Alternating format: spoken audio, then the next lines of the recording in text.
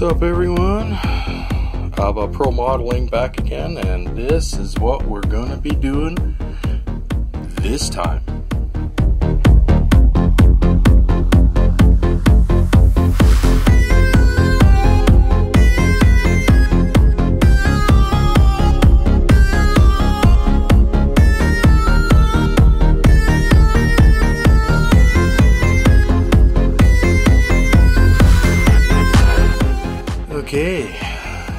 Everything's all unpacked here.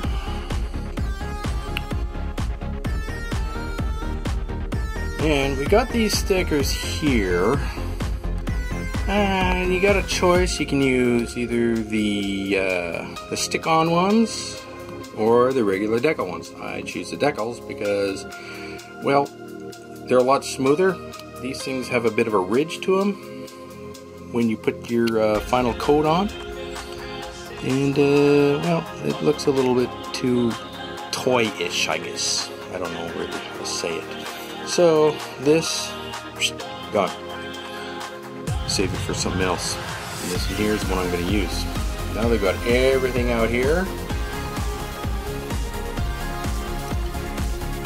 And of course, you got to make sure you read through the book here first before you actually start anything.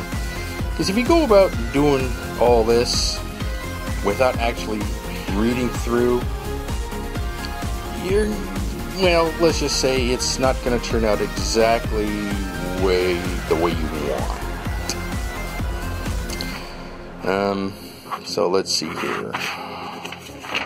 Going back to the beginning over here, we got, uh, let me see, let me see, let me see. Of course, you want to check out everything here and make sure all the parts are on everything here what the diagram says here. And to me, looking around, I don't see anything missing, which looks good. Um, and we got, uh, let's see here, where's the, uh, it shows you all the symbols here, what they mean. Make sure you uh, pay close attention to those. And painting index for the colors. Uh, good gravy train, where is that? It's usually in the beginning. Oh, maybe it's right. Oh, here we go, here we go, here we go. Ugh, stupid light. Gives you all the decal placements and everything there. But what you want to do, and it shows all the different colors for the model itself. But then, in the end, though, it's your model. You can paint it green or orange or pink if you want. It doesn't really matter. But if you're a perfectionist, kind of like me, you want to make it look as realistic to the movie version of the Slave One. But again, you know, that's that's your personal preference whatever you want it to make it look like. Okay, so uh, on to the first step actually is to let's see, actually, where are the engines here? The engines on the back. Is you want to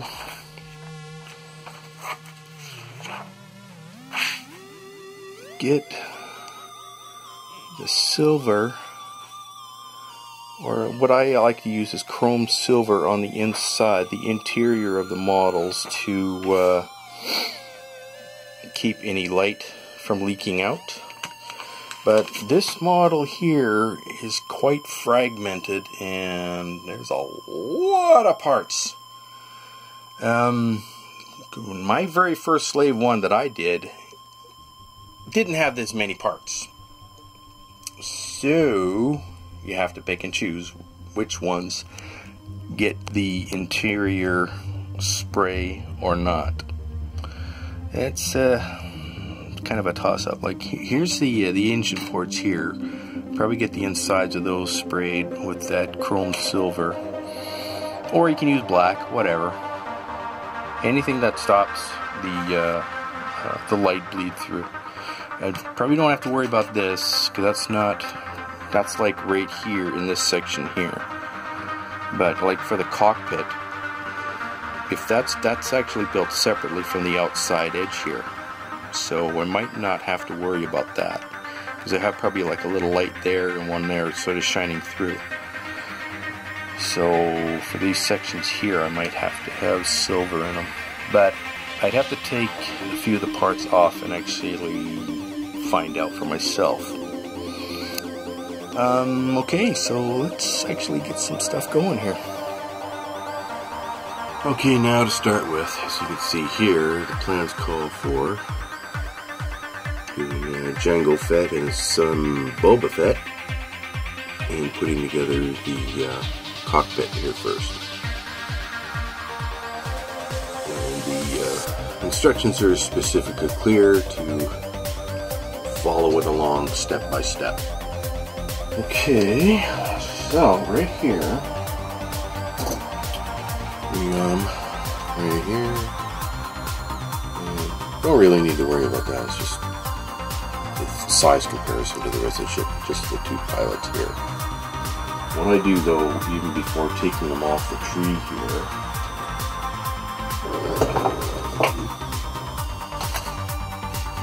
slippers. And then I'm going to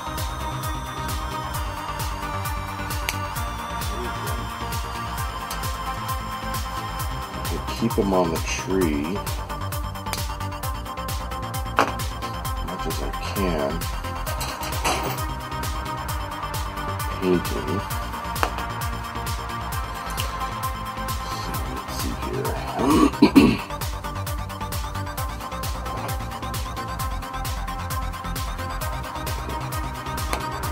carefully trim these off.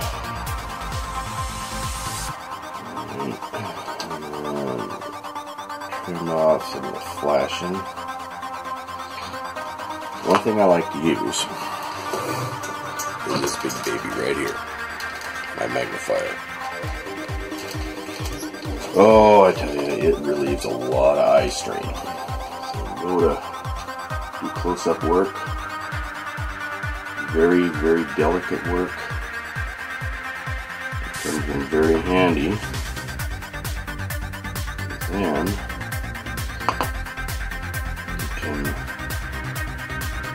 more control over the painting. Hmm? You grab this little puppy. Has his own magnifier, but very rarely use it because I got this thing. So, sideways, clamp it on like that. Now, gotta look for over here is, see they got little images here of uh, Jango and Boba. It's, it's still kind of hard to make out the colors so, what we got here, uh, we got uh, Jango Fett's colors here and Boba's. So I just go by that. If I don't get them exactly right, the colors, so what?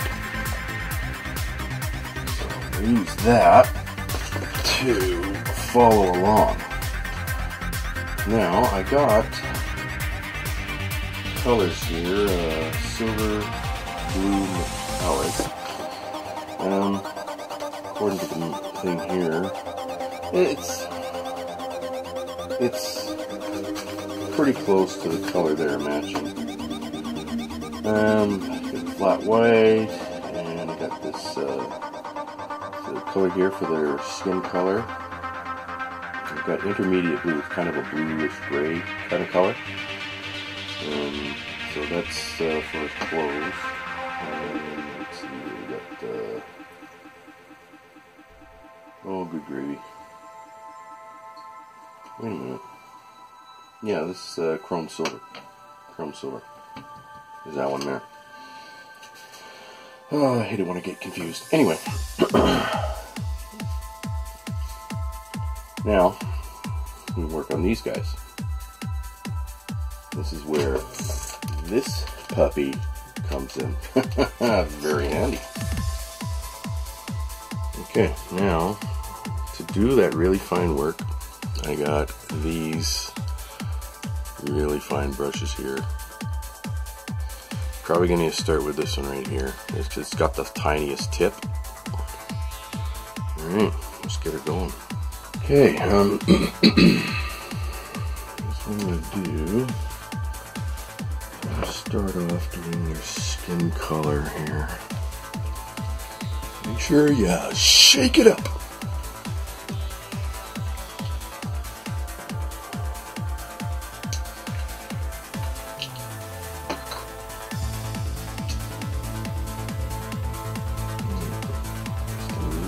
Bit on the brush, you don't need very much. Because these uh, images are really, really tiny. Uh, here. Oops, wait a minute. It's too much on the brush. Just barely gotta touch it into the paint. Hmm. And I usually keep my pinky out like this to stabilize my hand.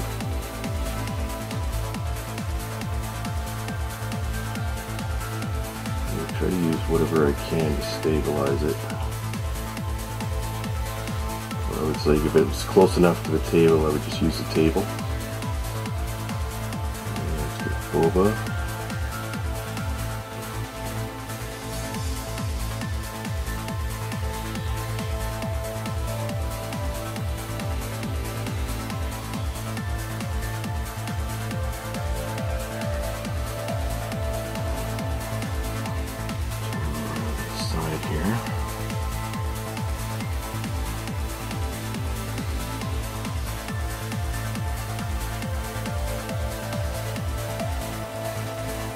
It doesn't take very much. You don't want to overload your brush. Just because these images are so, so tiny. Just gotta, just gotta touch it, that's it. Okay, here we go. See so far. And uh, that's, that's it the skin tone. Now, make sure you clean out your brush. So for this, I just use my, my cleaner here. Because I use oil-based paints. Try not to uh, mix up your paints like oils and acrylics because um, they'll crack. Learned that from experience. Okay, uh, next, next, next, next. What's next here? Jango Fett's clothes. So blue gray, which is uh, an intermediate blue. Where's my intermediate blue? There it is. Shake, shake, shake.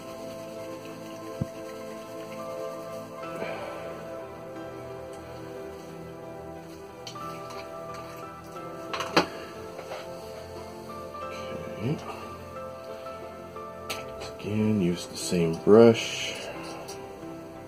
Mix the paints up. Take the excess off. Oops. Sorry about that, Chief. Okay, here we go. Uh, so I don't have to worry about his sleeves.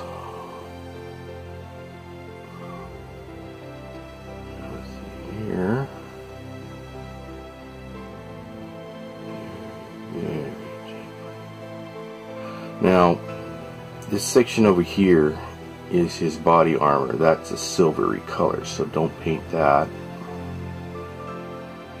Down below there. If I get a little bit of paint there, that's okay. It doesn't matter. Once it dries, I'll just paint right over top of it.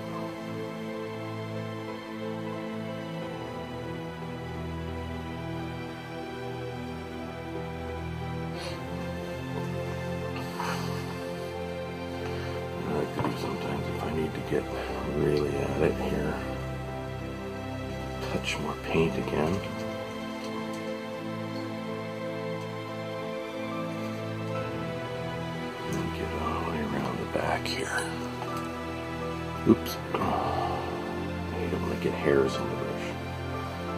It's from my cat. Silly kitty. It around here. Telling you, this uh, magnifier is one of my most important tools. eye strain is greatly reduced. You don't really need the paint the whole back. You never see it. Okay, Boba Fett's clothes is like a flat white. So I got uh, the side here. His armor's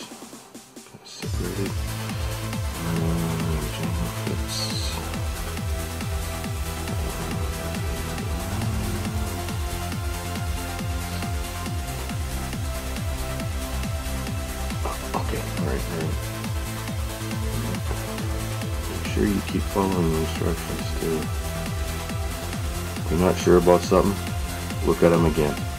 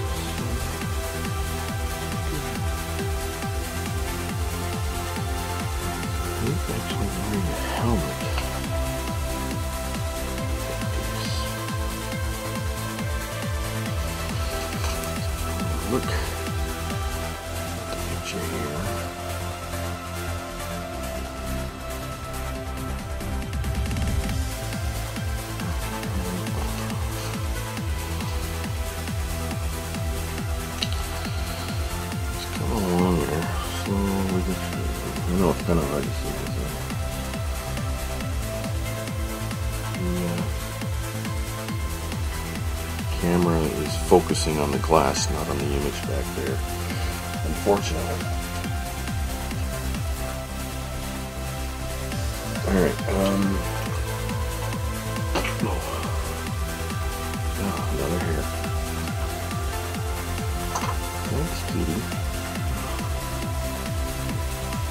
Sometimes the hairs come off the brush too. Okay, and there you have it. You're done. And now we can start working on the rest of the cockpit.